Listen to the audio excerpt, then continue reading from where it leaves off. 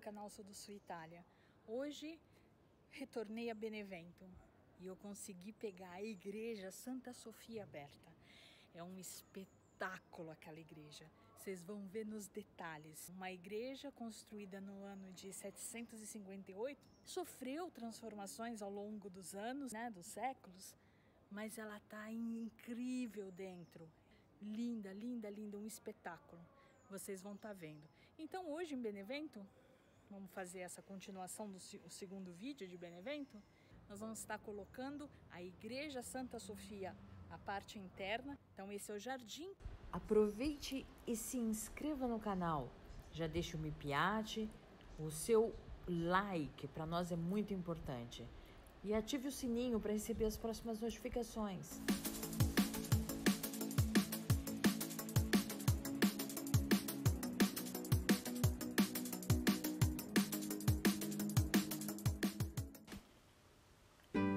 Planta da igreja de Santa Sofia é única no gênero.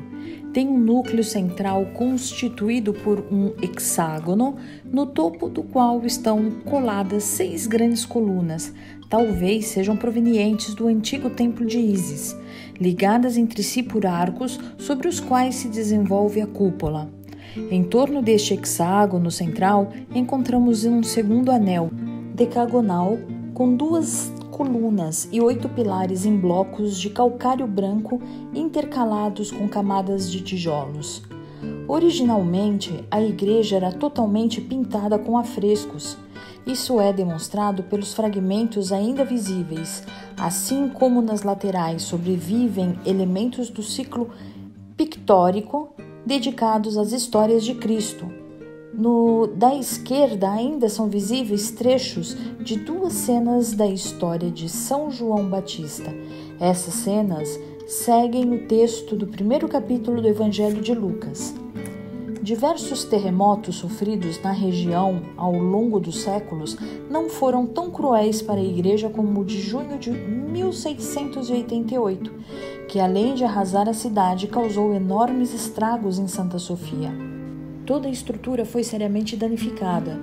A cúpula hexagonal central, com segmentos rompidos, a torre cineira romântica tombou sobre o corpo avançado, destruindo-o por completo.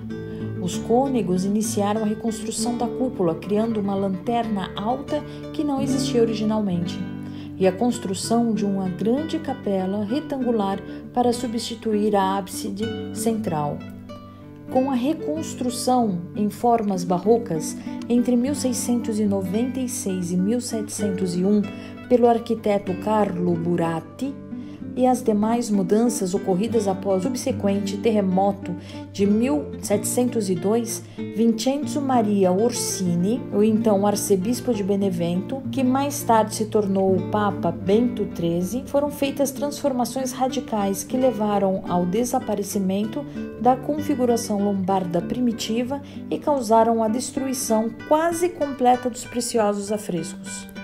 Após a Segunda Grande Guerra, os trabalhos de restauro foram iniciados pela Superintendência dos Monumentos de Nápoles, que, com uma intervenção polêmica, permitiu trazer à luz o esquema estrutural original lombardo e, posteriormente, concluir as partes demolidas ou adulteradas durante as transformações do Barroco. Os primeiros ensaios, iniciados em 1947, foram seguidos pelas obras que, iniciadas em março de 1955, terminaram em 1960, com a devolução da igreja à comunidade paroquial.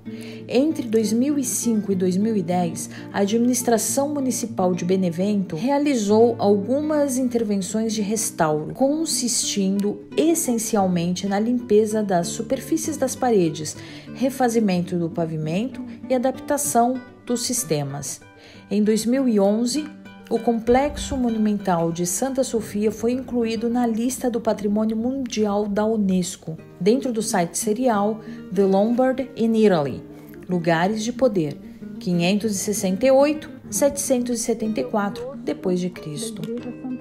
O quiostro de Santa Sofia foi fundado pelo príncipe de Benevento Areque II como um monastério beneditino feminino. Foi inicialmente submisso à abadia de Monte Cassino.